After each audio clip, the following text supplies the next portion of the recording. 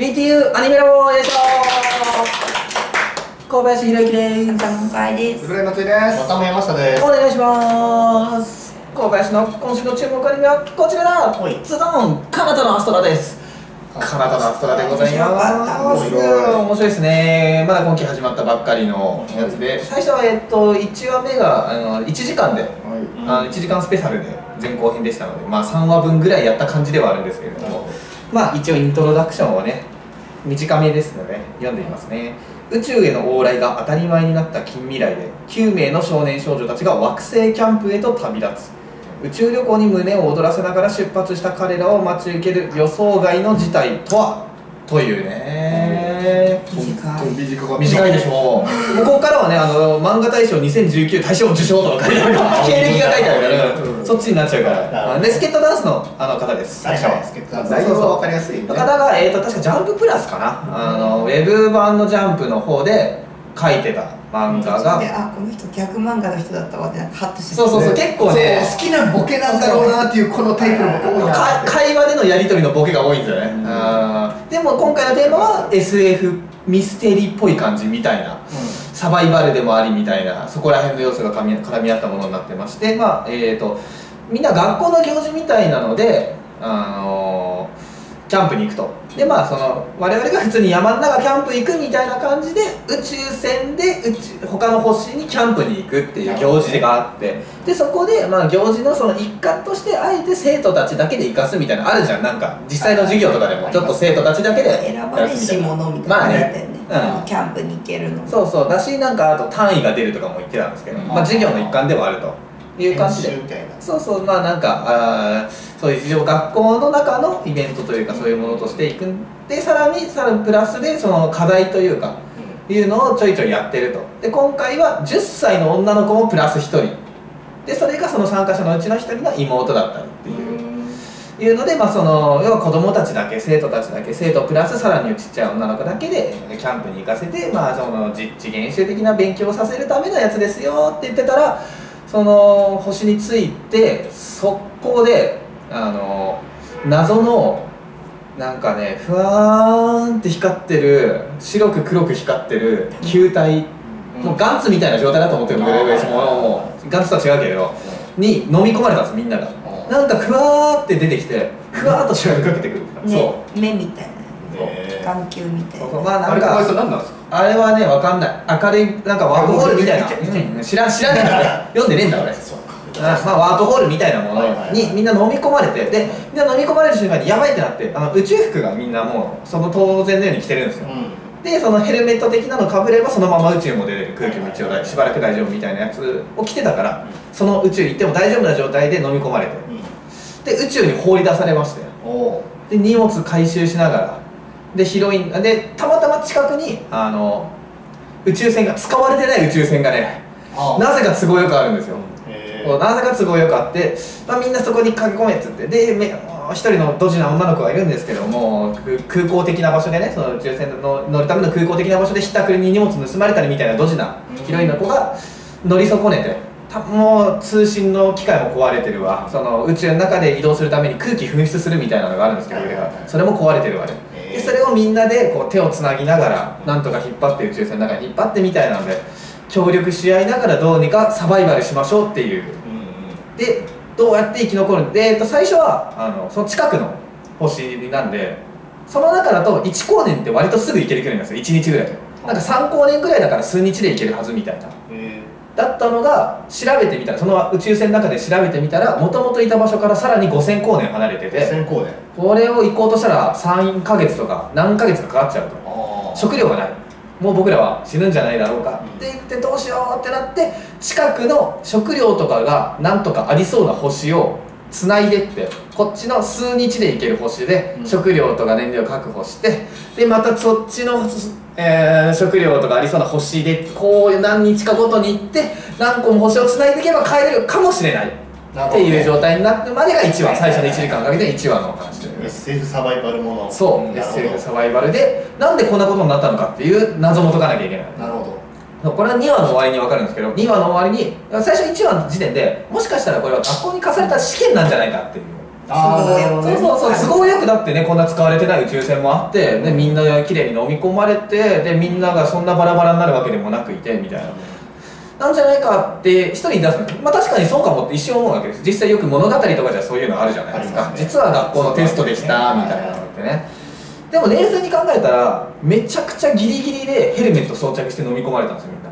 一人の人がねリーダーが言ってくれたから。リーダーがね主人公的なキャラのカナダ君がね。はいはい。ヘルメットかぶれって言って飲み込まれたから宇宙に放り出された時無事だっただけであれはそれしてなかったら死んでたなーっていうのを考えるとこれはマジの事故なんじゃないだろうかと。うん。これはやばいんじゃないだろうかでとりあえず近くの星に行こう。で近くの星に行ったらまた謎の球体にまた追いかけ回されえ何なんだこれはと。ーでまたその未知の星この未知の生物がいる星でピンチになるのをみんなで手を取り合って助け合いながらなんとか生き残りたいんだけどっていうところで2話になりまして。でそれが2話の話なんですけど、うん。の2話の最後で宇宙船の通信機器が壊れてたんですけどうん。そのう一人天才がいて宇宙船の免許も持ってるし IQ200 だかなんだかだしみたいな。えそいつが頼れるまあその実質ないろいろ引っ張ってくれてる、まあ、真面目な静かなタイプのやつなんですけど優等生タイプの。そいつがそのキャプテンにだけ話があると、うん。さあちょっと一応伝えておきたいことがあると。ではなんか通信機器の基盤みたいなのをバンってしてここがぶった切られてる明らかに人為的に細菌切られてるー、へ誰かがおそらくこの中にいる誰かが通信機器を切ったんじゃないだろうか。他に人がいないから。えなるほど、誰かが人為的にこれはいろいろ起きてるのかもしれないという。えー、千葉に犯人が。うんだとしたら目的は何なのか。せっかくまとまったのにそう。ね仲良くですね一人ずっとツンケンしてた女の子その連れてこられた少女の方ねはい。課題になった少女の、まあ、義理の姉というかもともとその女の子がお金持ちの家でお母さん仕事ばっかで構ってくんなくて親は。親はその時にその親の友達の娘を妹としてうん義理のね妹として引き取ると。その友達が亡くなっちゃったからと。で自分のこと可愛がってもくれねえ母親が娘をもう一人増やしてでその親が可愛がってあげてねっつってまた仕事行くっていうのがあったせいでその姉妹はずっとギスギスしてる。姉妹は妹の子はずっとお姉ちゃんお姉ちゃんって言ってるんだけど。っていう関係があったせいでずっといろんな人にもうギスギスギスギスしてたの妹、はい姉お姉ちゃんは。それをみんなで協力して妹がそのちょっとあの、えっと、ドラポンっていう生き物に組まれそうになるんですけどほドラポンって名付けたドラゴンに。それを助ける流れでみんな仲良くなってせっかく仲良くなったのに最後の最後にこの中に一人裏切り者がいるかもしれないというのが分かってしまってどうなるのかっていうのがちょっとミステリー的な部分で帰れるのかっていうサバイバル的なのを SF を舞台に宇宙を舞台に誰が来たんだ誰が知ったんだろうね。自然に自然に自然にブチブチブチ。ブチブチ知らねえんだよ。つい最近消えたうん。俺はもうそれ知らない。11人いるかなってずっと思ってたけど。11人いるっぽくはありそうます11人いるは多分そのモチーフとしてねわざわざその学校の課題じゃないかって言ったのも11人いるのね。パロディーですよね、うんあるんですよ。昔少女漫画で初めて SF ミステリーをやったと言われてる漫画のすごい人気のある作品があってそれは、えっと同じように宇宙船で遭難するっていう。うん。で10人しかいないはずなのに11人なぜかメンバーがいてうち1人がじゃあ誰かがその罠を仕掛けた犯人なんじゃないかみたいなんで話が進んでいくってそれとちょっと似てるというか、そうね。まあ、おそらくインスパイアしてるんだろうなっていう。だから先に言ったんですよねそうそう学校の試験なんじゃないか。それって結局学校の試験だったってオチなんですよ。11人は。そう。それでその11人目がその学校側が仕向けたその犯人といいますか、うん。まあ、人道的でいう、ね、そういう位置の人だったっていう話で終わるんですけど、うん。ではないですよっていうのはだからこそ先に言ったわけですね学校の試験じゃないっぽいねっていう、しあんな死ぬような真似をするっていうことは。というのがもう確かに原作読んでれば全部分かってる。原作これ終わってるんです結構前に。あそうなんですね。結構前に終わってて。へで結構前に終わってるけど漫画大賞通りうん。でアニメ化されっていうんでもう原作読んでる人からしたらついにみたいな感じのアニメ化なんで知ってる人は知ってるからこうやってアニメで見てる人たちに対して心の中でああ楽しんでるねって思えるっていうね。じゃあ気になるねこれはいや読んじゃいたいんだよね正直。読んじゃいたい。読んじゃいたいのよ原作。気になるのよ。この2話までですげえ面白いから続き読んじゃいたいのよ。本当ね僕ねうっかりウィキペディアの最初の方を開いちゃって、ネタバレしそうになったんですよ。あーあ危ないですよダメだよ。あれですよ。ね、はい。あの本当に本当にすごい速さでネタバレしてこようとするんでウィキペディアアこのページ。特にカナダのアストロのウィキペディアはひどいですからね。へ結構ひどいです。まあでも SF だと解説するものがいっぱいあるかそうそうそうそうそうらどうしてもそうそうについてじゃあねそう。ウィキペディアがわやばいなら検索履歴検索候補で出てああサジェストってやつですね第二検索ワードでね。まあね、うん。でもそうまだネット漫画だからそこまで出てこないんじゃないかなまあでもやっぱ検索する人は出てくるじゃないですか絶そうです対。ね気になって。なんでそこは気をつけなきゃあのね約束のネバーランドみたいな現象に。画像検索で死ぬほどねネタバレが起きたりするんでそこら辺はね我々気をつけなきゃいけないというね我々アニメで初めて見てるので先が気になる。すごい本当に面白いですここまでで、うんなんかね宇宙とか SF とかの、まあ、難しい言葉もちょいちょい出てくるんですけど、うんまあ、そんなそれ気にしなくていいのかなっていう結局知らない星って知らないものをいっぱい見ることになるんで、ん。まあ、知らないもんだらけっていうのはキャラクターたちも割と同じスタンスで見てくれるんで。ね。そうそう。そこら辺はうん。でまああの感覚としてはその無人島的な何かで遭難してるのにちょっと近いっちゃ近いかもしれないっていう意味でそんなに、あのー理解が難しかったりはしないのかなっていう。そうそう。主人公の生い立ちとかも割とあの宇宙的なことというかよりも親が陸上選手を怪我で諦めた人で世界を狙えるって言われてる。それを継ぐために陸上自分も頑張っててすごい身体能力もなかったんだけど自分はちょっと時間夢あるなって思ってたところをかつて先生中学の時の先生にあの背中を押される形でえー宇宙冒険家になりたいっていう夢を今は追いかけてるという。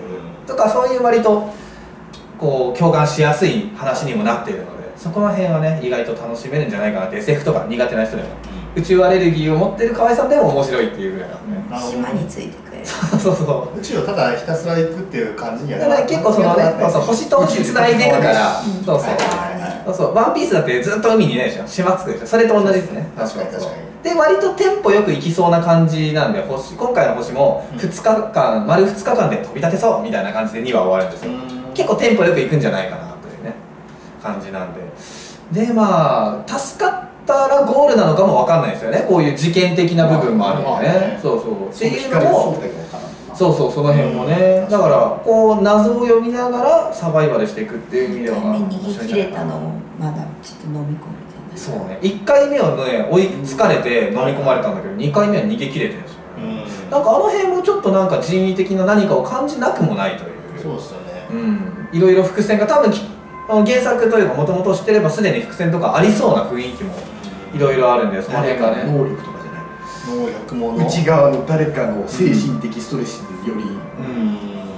ずっと塞ぎ込んでる女いるもんね。ずあいたな。ストレス溜め込んでそうな女いたな。無口な女がいるんですよ。そういうこともある。そうそう。自己紹介ちゃんとしなかった女がいるんですよ一人だけ。みんなね自己紹介する流れがあったんですけどなんかねろくに名前しか言わずにね自分のこと喋らなかった女がいるんですよ主ね人公が一番ストレス抱えてるからな。ストレス。過去に対してずっとプレッシャーがすげえからさ。で妹のそのキャラの子は自分の言葉の題名をずっと人形に言わせてストレス抱えてるのは34人いますね。ちょっと鬱屈としてますねみんな。そうそう。ちょっと抱えてる抱えてる部分はあるのでその辺もね。過去そのキャラの過去も多分掘り下げる流れはこれからあると思うんで、はい。いろいろ楽しみな点は楽しみ方がいろいろありそうなのでねここから楽しみだなという感じです、えー今週の注目アニメ「カナダのアストロ」でした。他の動画チャンネル登録コメントよろしくお願いします。ありがとうございました。